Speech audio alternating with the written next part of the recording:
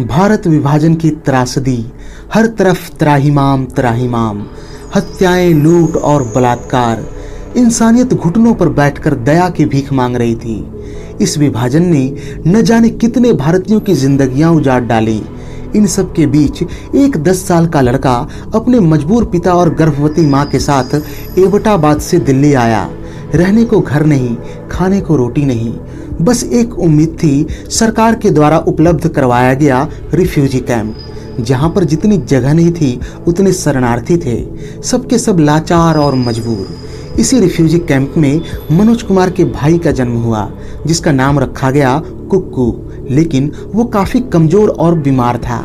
अच्छी खान पान के अभाव में माँ भी कुपोषित थी। नतीजन उनका भी स्वास्थ्य चिंतनीय था। ऐसे में मनोज कुमार के पिता के पास बस एक ही आस थी, सरकारी अस्पताल। मनोज कुमार का बालमन यह समझ नहीं पा रहा था कि उन्हें किस बात की सजा मिल रही है, जो एवटाबाद में स्थित उनके गाँव जंडियाला शेर खां को छोड़कर दर दर की ठोकरें खाने पड़ रही हैं। पिता दिन भर रोजी रोटी के जुगाड़ में मारे मारे फिरते और मनोज अस्पताल में अपनी माँ के सिरहाने बैठे, कभी बीमार माँ को देखते, कभी भाई को। उन दिनों विभाजन के कारण दंगे आम हो गए थे, जिसके कारण लोग डरे और सहमे थे। एक दिन जब ऐसा ही दंगा भड़का तो अस्पताल में उपस्थित सभी डॉक्टर्स और नर्सेज अपनी जान बचाने के लिए बेसमेंट में अंडरग्राउंड हो गए। पर माँ के सिरहाने बैठे मनोज टस से मस न हुए। उस दिन माँ की तबीयत कुछ ज़्यादा ही खराब थी।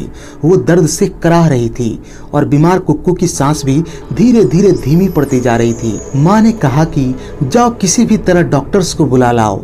मनोज कुमार पूरी अस्पताल में डॉक्टर्स को आवाज़ देते रहे, पर जवाब में कोई आवाज़ नहीं सुनाई दी।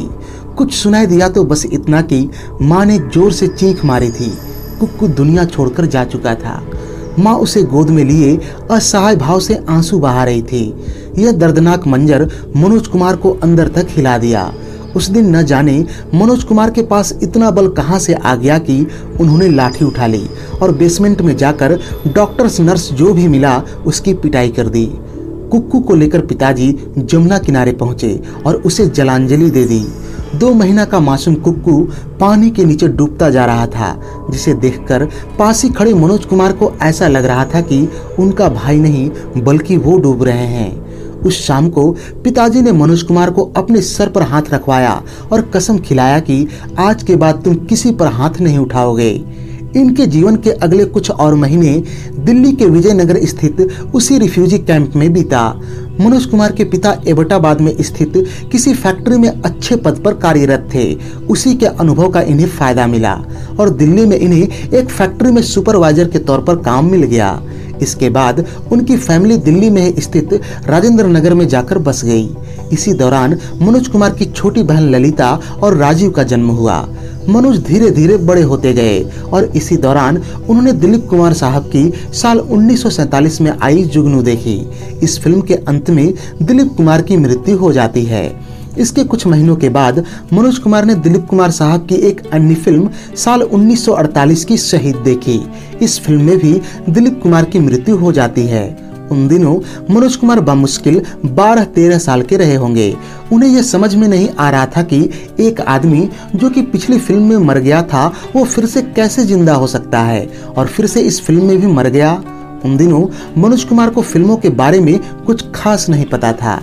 आखिरकार उन्होंने अपनी माँ से पूछा कि, माँ, वो कौन लोग होते हैं जो मरकर भी ज़िंदा हो जाते हैं? माँ का जवाब था, बेटे, वो फरिश्ते होते हैं। इसी वाक्य ने मनोज कुमार की ज़िंदगी बदल दी और उन्होंने ठान लिया कि उन्हें भी एक फरिश्ता बनना है।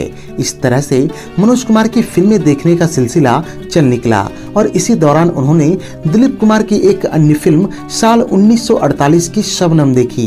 इस फ़िल्म में दिलीप कुमार के किरदार का नाम मनोज कुमार था। इस नाम से मनोज कुमार काफ़ी प्रभावित हुए और ठान लिया कि जब वो भविष्य में फरिश्ता बनेंगे तो अपना नाम हरिकृष्ण गिरी गोस्वामी से बदलकर मनोज कुमार ही रखेंगे। पर अभी मंजिल दूर थी। इस दौरान वो अपने माता पिता से संस्कार सीखते हुए स्कूलिंग पूरा करके कॉलेज तक जा पहुँचे। कॉलेज था उन दिनों का सबसे प्रसिद्ध हिंदू कॉलेज। यहाँ आकर उन्होंने पढ़ाई के अलावा खेलकूद और रंगमंच में भी भाग लेना शुरू किया। मनोज कुमार खेल कूद में काफ़ी अच्छे थे। खास करके क्रिकेट और हॉकी में दिल्ली के आसपास उनके जोड़ का कोई खिलाड़ी न था। इन्हीं दिनों मनोज कुमार के जीवन में उनकी प्रेमिका शशि गोस्वामी भी आई, जिनके साथ मनोज कुमार का घूमना फिरना और सिनेमा देखना खूब हुआ। अभी कॉलेज खत्म ही हुआ था कि मनोज कुमार की ज़िंदगी ने करवट बदली और उनकी मुलाकात अपनी फूफी के बेटे लेखराज भाकरी से हुई, जो कि फ़िल्मों में ही सक्रिय थे तथा अपनी फ़िल्म तांगे वाली के प्रीमियर के लिए दिल्ली आए हुए थे। उन्होंने युवा मनोज को देखा और कहा कि, अरे, तू तो हीरो लगता है। मनोज कुमार के दिल में अरमान तो थे ही। उन्होंने तुरंत ही कहा कि तो फिर बना दीजिए हीरो। लेखराज भाकरी के न्योते पर मनोज कुमार बम्बई जा पहुँचे। पहले छह महीने तो इन्हें लेखराज भाकरी से यह पूछने की हिम्मत नहीं हुई कि मुझे फ़िल्मों में कब रोल मिलेगा। पर एक दिन उन्होंने हिम्मत करके पूछ लिया। पर सामने से जवाब आया कि अभी तो तुम्हारा एक भी जूता नहीं घिसा है। बहरहाल, उन्हीं दिनों लेखराज भाकरे ने साल उन्नीस सौ सत्तावन की फ़िल्म फ़ैशन शुरू की, जिसके नायक और नायिका बनी प्रदीप कुमार और माला सिन्हा। इस फ़िल्म में मनोज कुमार को एक 90 साल के बूढ़े भिखारी का छोटा सा रोल मिला। यहाँ विडम्बना देखिए कि उन दिनों इनकी उम्र कोई 17-18 साल की ही रही होगी। इसके बाद लेखराज भाकरी ने अपनी अगली फ़िल्मों सहारा और चांदनी में मनोज कुमार को तीन तीन चार चार सीन दिए। बहरहाल, अभी तक ये नायक नहीं बन पाए थे। इस दौरान मनोज कुमार अन्य निर्माता निर्देशकों से भी रोल की मिन्नतें करते रहे। एक दिन भगवान ने इनकी सुन ली और इन्हें मुख्य नायक के तौर पर पहली फ़िल्म मिली कांच की गुड़िया। फ़िल्म के निर्माता निर्देशक थे हरनाम सिंह रवेल, जिन्होंने आगे चलकर संघर्ष, महबूब की मेहंदी और लैला मजनू जैसी कई मकबूल फ़िल्में बनाई। खैर, मनोज कुमार को फ़िल्म कांच की गुड़िया में नायक की भूमिका तो मिल गई, पर फ़िल्म बुरी तरह से फ्लॉप रही। यह समय था साल 1961 का। इसके बाद आई मनोज कुमार की कुछ अन्य फ़िल्में, जैसे कि पिया मिलन की आस, सुहाग सिंदूर, रेशमी रुमाल आदि का भी काफ़ी बुरा असर हुआ। इनके फिल्मी कैरियर में बड़ी उपलब्धि रही साल उन्नीस सौ बासठ की विजय भट्ट निर्देशित हरियाली और रास्ता। फ़िल्म सिल्वर जुबली हिट रही।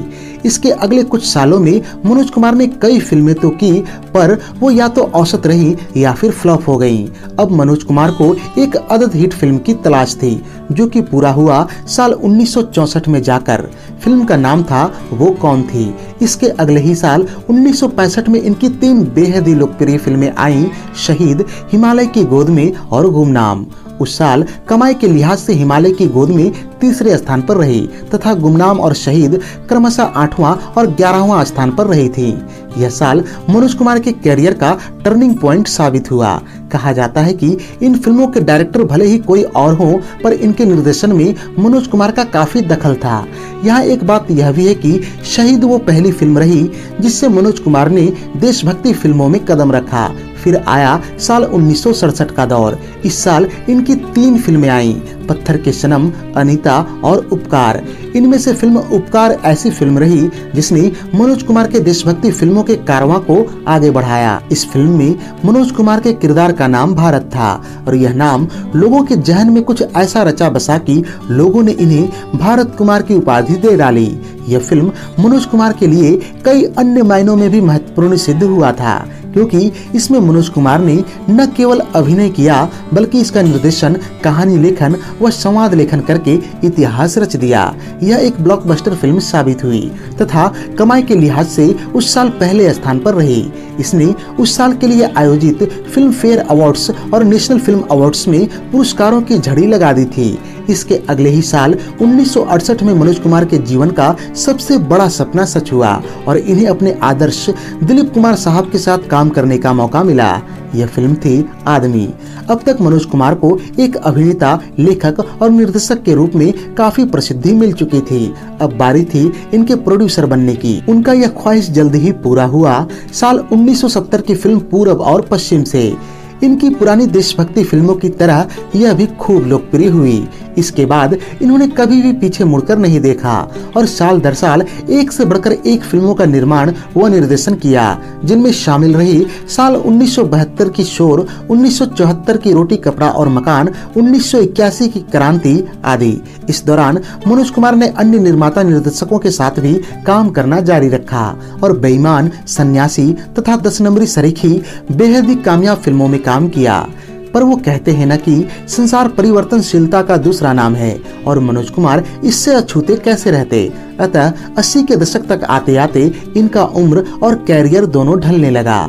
बात करें इनके पारिवारिक जीवन की तो इनकी शादी अपने कॉलेज के दिनों की प्रेमिका शशि गोस्वामी से ही हुई। इनके दो बेटे हैं विशाल और कुणाल गोस्वामी। इनमें से विशाल ने गायक और कुणाल ने अभिनेता बनने की कोशिश की, पर दोनों ही अपना कैरियर बनाने में असफल रहे। इसके अलावा मनोज कुमार ने अपने छोटे भाई राजीव गोस्वामी को भी साल उन्नीस सौ तिरासी की फ़िल्म पेंटर बाबू से लॉन्च करने का प्रयास किया, पर उनका भी एक नायक के तौर पर कैरियर कुछ खास नहीं रहा। बहरहाल, अभिनेता के तौर पर मनोज कुमार की अंतिम फ़िल्म रही साल उन्नीस सौ पंचानवे की मैदान जंग और निर्देशक के तौर पर इन्होंने अंतिम फ़िल्म बनाई साल 1999 की जय हिंद। 24 जुलाई 1937 को जन्मे मनोज कुमार, आज तिरासी वर्ष के हो चले हैं। इन्हें बेस्ट एक्टर, डायरेक्टर और राइटर के कई पुरस्कारों के अलावा पद्म भूषण और दादा साहेब फाल्के अवार्ड जैसे सम्मान भी प्राप्त हुए हैं। मनोज कुमार हमेशा अपने दर्शकों को अन्नदाता मानते रहे हैं तथा सफल जीवन जीने के लिए एक ही मूल मंत्र देते हैं कि खूब मेहनत करो, बस यही सफलता का एकमात्र कुंजी है। तो ये थी मनोज कुमार साहब के जीवन पर हमारी एक विशेष प्रस्तुति। उम्मीद है कि यह वीडियो आपको बेहद ही पसंद आई होगी। अगर आप अपने किसी अन्य पसंदीदा अभिनेता या अभिनेत्री पर ऐसे ही दिलचस्प वीडियो देखना चाहते हैं तो हमें कमेंट करके अवश्य बताएँ। फ़िलहाल इस वीडियो में यहीं तक। मिलते हैं ऐसे ही किसी अन्य रोचक वीडियो में। धन्यवाद।